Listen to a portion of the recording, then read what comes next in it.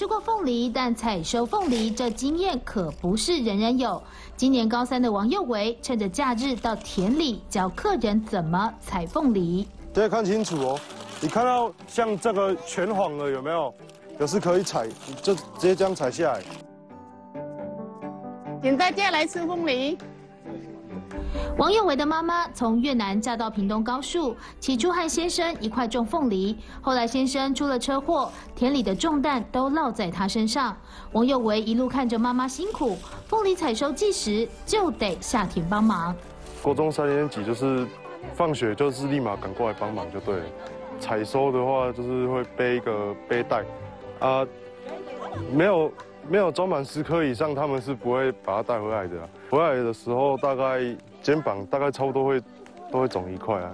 王佑维看到很多水果都有观光果园可以开放采果，但就凤梨没有，就和妈妈讨论，也把自家凤梨田假日开放民众报名来采果，就连日本游客也专程来体验。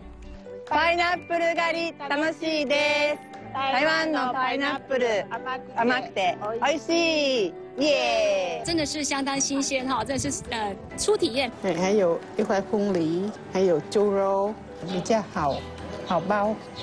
妈妈阮氏正也很认真，想出把凤梨包进越南春卷里，多了一点清爽鲜甜。凤梨皮、凤梨心煮成凤梨茶叶蛋，果香扑鼻，酸中带甜，就像儿子的帮忙，让他肩上的重担越来越轻松。他长大了，应今天要做一些家家里的事情。